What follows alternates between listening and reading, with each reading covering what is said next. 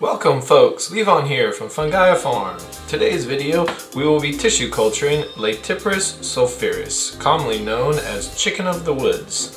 This mushroom was just harvested in October here in Humboldt County on an old Doug fir stump. First things I'll do is wash the mushrooms in cold water. This will help remove any dust or dirt and spores that may have been on the mushroom. Then we'll bring our cleaned mushroom over to the flow hood for tissue culturing.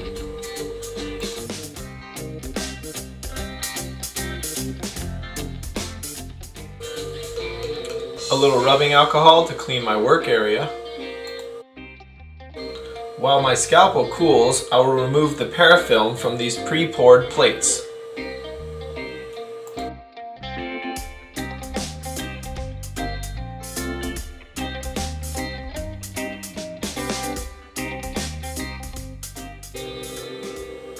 By breaking the mushroom in half, I will expose some clean tissue inside the mushroom.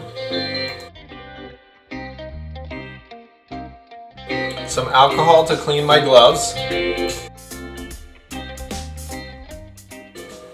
I will now remove a piece of tissue from the middle of the mushroom and place it into the agar medium.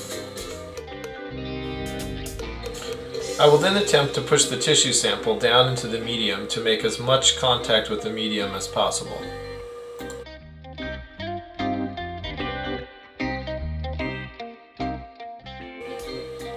Rewrap the plate with parafilm.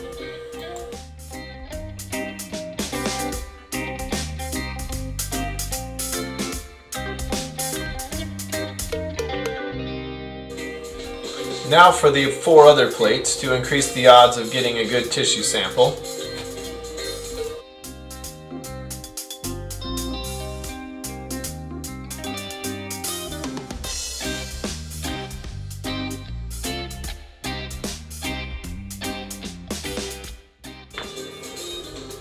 All done, now I just need to clean my work area and label my plates.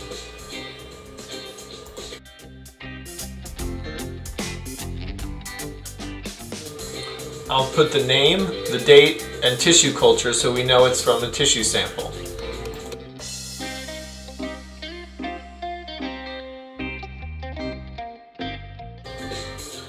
These plates were set in the lab on sticky paper to trap any mites or bugs that may have come in with the mushroom.